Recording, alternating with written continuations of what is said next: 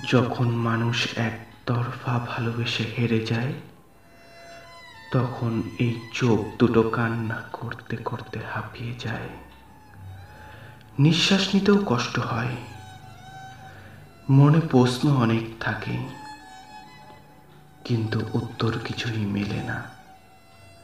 সবার যেভাবে ভালোবাসা হয়, আমারও সেভাবেই হয়েছিল। মনের খেয়ালে আমিও তার কথা অনেক ভেবেছি। শুরুটা আমারও বন্ধুত্ব থেকেই হয়েছিল। বেস্ট ফ্রেন্ড থেকে ভালোবাসার সাগরে গিয়ে আমিও পড়েছিলাম। কিন্তু আমার ভাগ্যে আই লাভ ইউর পরিবর্তে আই লাভ ইউ টু ছিল না। অন্য কিছু ছিল।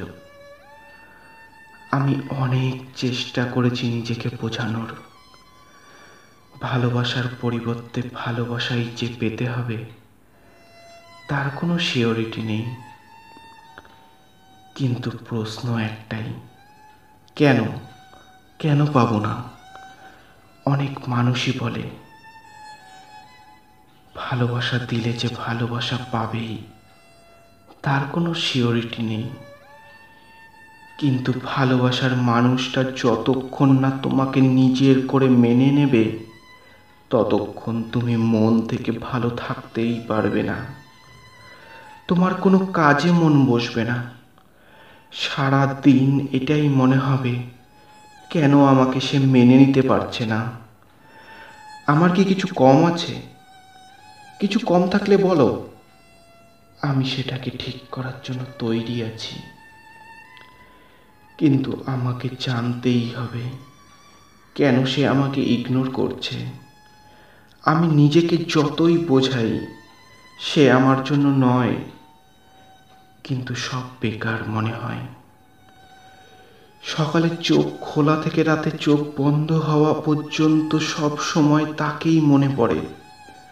আর তার মনে হয় আমার ভালোবাসা শুধুই টাইম পাস তিন বছর ধরে আমি টাইম পাস করছি। তিন বছর ধরে আমি ভগবানের কাছে শুধু তাকেই চেয়েছি। তাহলে কেন আমার আবেগ ভালোবাসাকে বোঝে না সে? একটু সময় দেওয়ার জন্য আমাদের এত কষ্ট দেয়। সে কেন বোঝে না আমাদের সব আনন্দ তাকে ঘিরে? এই কথাটা তো সত্যি। একতরফা ভালোবাসা কষ্ট অনেক দেয়। একজন মানুষকে ভেতর থেকে শেষ করে দেয়। বন্ধুত্ব নষ্ট হয়ে যায়। পরিবারের মানুষও ভুল বোঝে। ভগবানের কাছে এটাই প্রার্থনা করব, যেখানেই থাকো, যার সাথেই থাকো, খুব সুখে থাকো। যদি কোনো মানুষের মধ্যে ভালোবাসা খুঁজতে চাও, আমার কথা তোমার মনে পড়বেই।